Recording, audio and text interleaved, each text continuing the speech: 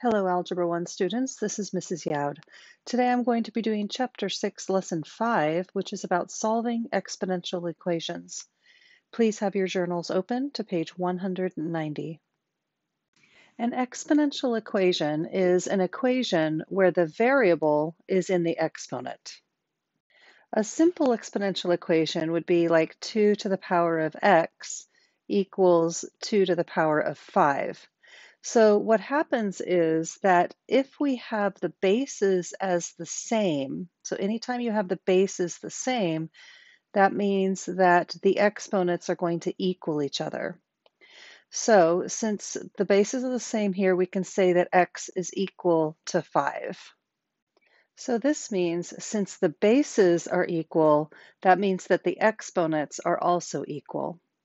So our general rule is if we have b to the power of x equaling b to the power of y, what we can say is that x is equal to y. And the reason why is because the bases are exactly the same. By the way, in this scenario, um, you can you have to have b greater than zero and b cannot equal one. Because what happens if b equals 1? If we had 1 to the power of x equals 1 to the power of 7, well, since 1 times 1 times 1 times 1, it doesn't matter how many times you multiply 1 by itself, you're going to get, it, it could be anything. So x could be 7, but x could also be 8, or x could be, you know, 10 or whatever, right? X could even be a negative number. So X could even be negative 5 because it would still work out. So that's why uh, B cannot be 1. Okay, let's take a look at the next page on page 191. So on these problems, we need to solve the equation. I'm going to start with number 3. So since we have the bases are the same, so 6 is equal to 6, that means we can say that the exponents are also equal. So 4x minus 5 is equal to 2x. So all that remains is to solve for x. When I solve for x, I get x is equal to 5 over 2 or 2.5. So now what we could do to check our answers is we could plug it back into the original equation. So 6 to the power of 4 multiplied by 5 over 2 minus 5 should equal 6 to the power of 2 multiplied by 5 over 2. So now I'm going to solve that and see if that works. And sure enough, when I solved it, I got 6 to the power of 5 is equal to 6 to the power of 5. So you can always double check your answers by plugging them back into the original equation and see if it holds true. Let's practice one more of these problems. So uh, number four, I'm going to, I notice that the bases are the same. So that means my exponent, 6x minus 3, is it going to equal negative 3 plus 4x. So now we're just going to solve this. After I solved it, I found that x was equal to 0. I would like for you to try number 1 and number 2 on your own. For number 1, I got x is equal to 3 and for number two, I got x was equal to 15. Let's take a look at number five. So you'll notice on number five, our bases are not the same this time. So that means we have an extra step that we need to do. We have 4 to the power of 2x plus 11, and we need to see if we can find a number where 4 is power raised to what power uh, that will give us 1024. So this is where using your calculator can come in handy. Or if you want to, you can go ahead and do it by hand. So if we did it by hand, I I know from previous um, knowledge that three fours together equals 64 because we've used that quite a bit. So now if we have 64 multiplied by 4, we get 256. And then 256 multiplied by 4 does give us 1024. So now we need to find how many fours is that. So we have three here, four, and five. So that means four to the power of five will equal 1024. Okay, now that we have the bases as the same, right? 4 and 4, what we can say is that the exponents now are equal. So that means 2x plus 11 is equal to 5. So now we just need to solve for x on this problem. And I got x is equal to negative 3. Incidentally, when you do these type of problems and you're trying to figure out how many there are, you could also use your calculator to help you and just guess and check until you get to what you want it to be. Let's take a look at number six. So I want to see if I can find a number uh, that is eight that equals 512. So eight to the power of what gives me 512? Turns out using my calculator, I can find that eight to the power of three gets me there. So that means that we have 3 minus 2x is equal to 3 because those are, our, are the exponents that we have here and here. I would like you to finish number 6 on your own and go ahead and do number 7 while you're at it. So 6 and 7, please. For number 6, I got x is equal to 0, and number 7, I got x is equal to 3. Please check your answers, and if you made any mistakes, see if you can find them.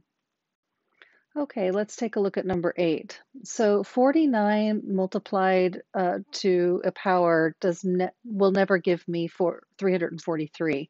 So that means that I also need to break down the 49 as well.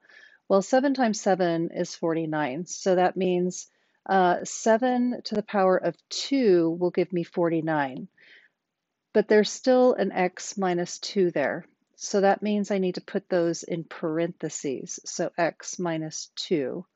And now we need to figure out 7 to the what power gives us 343. So using my calculator, I see that 7 to the power of 3 gives me 343. So as you can see on this problem, I had to break down the 49 and I had to break down the 343 in order to get my bases the same. So now I have the bases the same, which means that now I can uh, take the exponents and set them to equal each other. So 2 parentheses x minus 2 equals 3. And now we just need to solve for x. And when I solved for x, I got x is equal to 7 over 2. All right, let's take a look at number nine.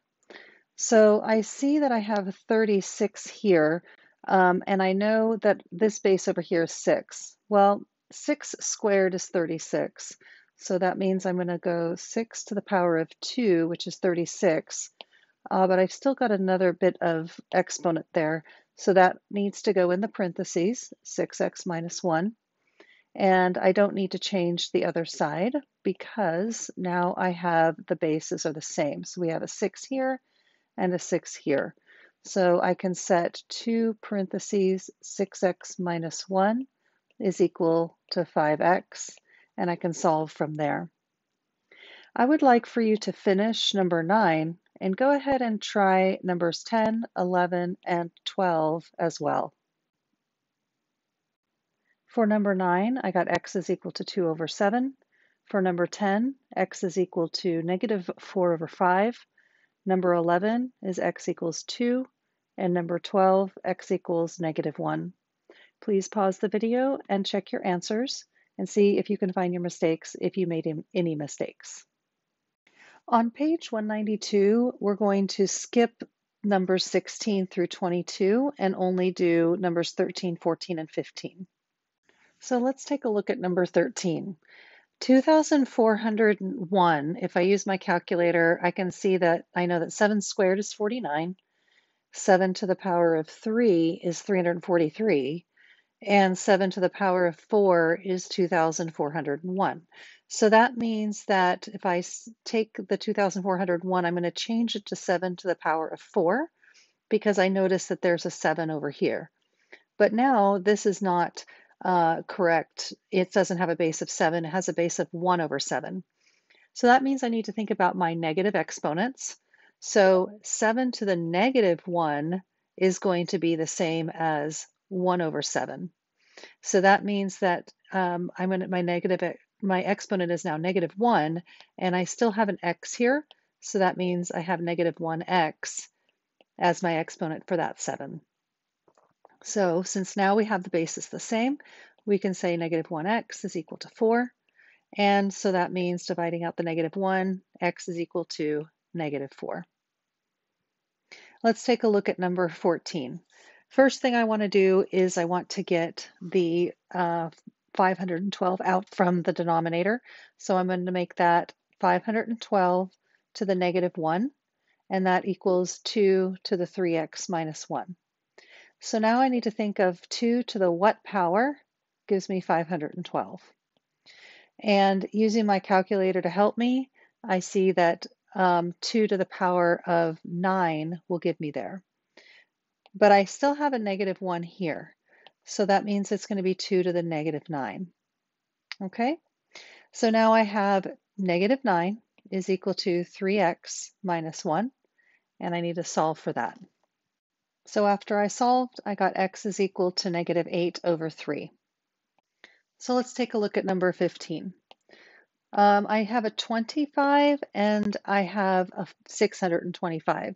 So I think what I'm going to do is change those to a 5, a base of 5. So the 25 is 5 squared. So that means that this side is going to be 5 squared and then multiplied by what else is in the exponent here, which is 2 minus 2x. 625 is 5 to the power of 4. So that means that 1 over 625 will be 5 to the power of negative 4. And once again, I still have this part of the exponent there. So that is going to be x plus 1 here. Okay, so now I'm ready to solve this. So I have 2 and then 2 minus 2x is equal to negative 4, x plus 1. So we have 4 minus 4x equals negative 4x minus 4. So if I add 4x to both sides, I get 4 is equal to negative 4. Notice that my, x, my um, variables disappeared. So that means that we need to look and see what's left. This is a false statement.